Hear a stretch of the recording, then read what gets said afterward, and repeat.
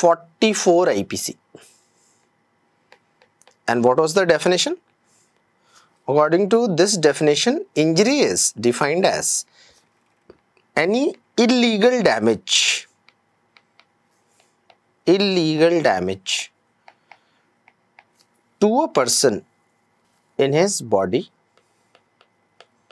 or to a person's mind or to his reputation or to his property. So any illegal damage to a person in body, mind, reputation and property is defined